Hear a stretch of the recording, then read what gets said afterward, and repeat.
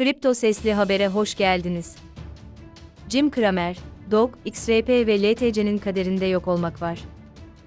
Dogecoin ile ilgili habere başlarken, bir sonraki Dogecoin haberini almak için lütfen şimdi abone olun. Tanınmış CNBC muhabiri Dogecoin, XRP ve Litecoin hakkında olumsuz olduğunu söylüyor. Ünlü finans muhabiri, CNBC'nin Mad Money programının sunucusu Jim Cramer, CNBC'nin Suyat Box yardımcı sunucusu Becky Quick şu anda kripto konusunda olumsuz olması gerektiğini söyledi. Dog, XRP ve LTC'yi tekrar çarpıyor aslında, özellikle en iyi 3 kripto para olan Dogecoin, orijinal mem kripto para birimi, Ripple'a bağlı XRP ve Litecoin, kripto alanında yaygın olarak dijital gümüş olarak bilinir, konusunda olumsuz bunların 80 milyar dolar değerinde Bitcoin dışı olduğunu ve yok olmaya mahkum olduğunu belirtti. Uğur Today tarafından daha önce bildirildiği üzere Kramer, XRP, DOG ve Solana'yı devasa eksiler olarak tokatlamıştı. Genel olarak, hisse senetlerini dijital varlıklara tercih eden finans uzmanı, Bitcoin ve Ethereum dışında en iyi kripto para birimlerini sürekli olarak eleştiriyor.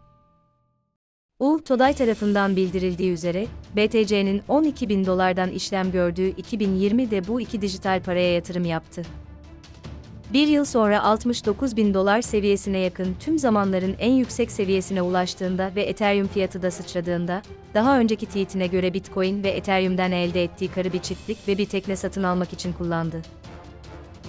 Diğer kripto para birimlerine gelince, Mad Money sunucusu onları şüpheli bularak karalamaya devam ediyor ve her yıl para kaybetmemek için herkesi bunlara yatırım yapmamaları konusunda uyarıyor. Dog Kore'de, Kramer'a yanıt veriyor Dog'un çekirdek geliştiricisi Michilumin, meme kripto Dogecoin'e yönelik eleştirisine gelince, Kramer'e yanıt verdi. Dog'un herhangi bir kuruluş veya kişi tarafından yönetilmediği için bir dolandırıcı olamayacağını, bu nedenle Dogecoin topluluğu dışında yararlanıcısı olmadığını belirtti. Dog, 2013 yılında 2 BT mühendisi Billy Marcus ve Jackson Palmer tarafından oluşturuldu.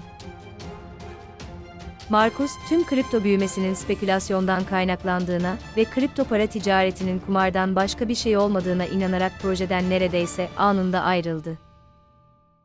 İzlediğiniz için teşekkürler. Bir sonraki Dogecoin haberinde görüşmek üzere. Lütfen abone olmayı unutmayın. Sorumluluk reddi, bu videoda verilen bilgiler yatırım tavsiyesi değildir. Finansal tavsiye, ticaret tavsiyesi değildir, yalnızca bilgi amaçlıdır. Video içeriğinin hiçbirini yatırım tavsiyesi olarak değerlendirmemelisiniz. Lütfen herhangi bir yatırım kararı vermeden önce mali danışmanınızdan bilgi alın.